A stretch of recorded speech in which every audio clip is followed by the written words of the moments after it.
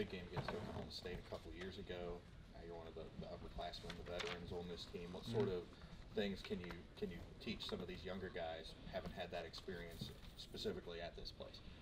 Um, man, it's a good environment out there. I mean, the pads be hitting against the wall. I mean, it's a fun place to play. We just gotta come ready. What uh, I mean, they've got a couple of pretty dangerous guys you're going to have to pay attention Mhm. to, and the receiver Wallace, and then the running back Hill. Just what what does each of those guys bring that is a challenge to you? Um, they're good players. I mean, you turn on the film, they're probably the first two people that stick out. I mean, I feel like if we do our job as a defense, as a group together, I feel like we'll get the job done. Trayvon with Wallace, is there something in particular that you do think jumps out about him? Um, I mean, he's just a great athlete. I mean, I feel like he's a he's an alert wherever he at on the field. We got to know where he at, and uh, just play good technique against him.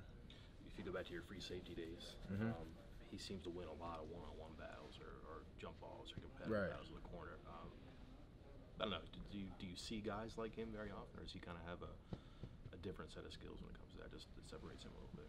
Um, I could say he's a little different. I mean, just watching film, he's very explosive. I mean, we just definitely, like I said, we got to know where he at at all times. I mean, we definitely gonna have help shadowing his way, so we'll be all right. Uh, Zeke compared Hill to Tevin Bush in terms of just like Yeah. explosiveness and speed. Is that is that a good comparison? You think as far as I mean, how he can? They they both different a little bit. I mean, he a running back, he a Right. receiver, but I feel like Tevin Bush probably the hardest person to tackle one on one in open field.